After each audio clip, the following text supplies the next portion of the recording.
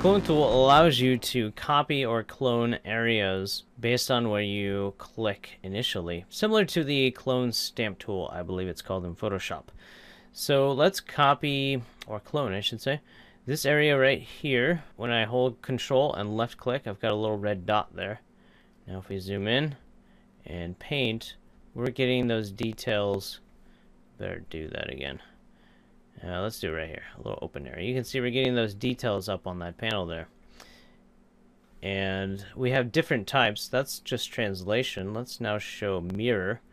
Mirror sets a little plane that it will mirror across. So if we, for example, set the mirror to be right here by holding control, and then we start painting on this area here, this empty area, it will copy the other area across that little mirrored plane.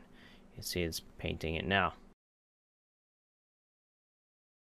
We can also do inversion. It's basically the same except it does a more of a radial pattern. And let's go over here. Next we have clone sector. And what this one does is it's very similar to the previous, the inversion. However, it does a radial clone, if you will. And we can set the number of sectors in the radial clone. So let's set that to 8. And you'll see the brush is now very close to the red dot. The lower the number, of course, the further away it will be. So let's go back to 8. And let's see an area. Let's go over here to this wing. And let's click right here, control click that is. And now we can copy radially. Uh, let's see, let's actually go right there. Oh, sorry, this one's viewport based, I should mention.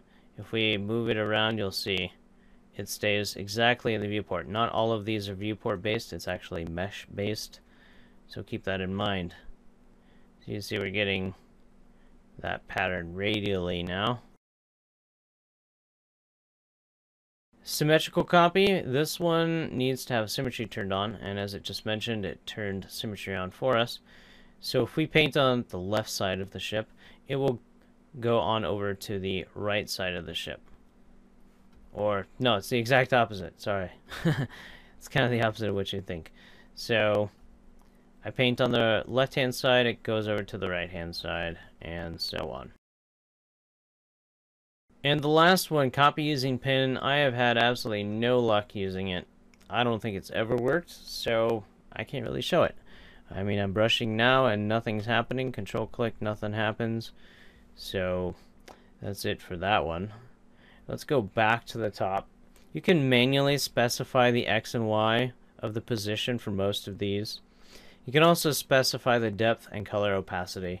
You can also set it to uh, paint or copy through all of the layers instead of the, the selected layer. But that's it for this tool. See you in the next video.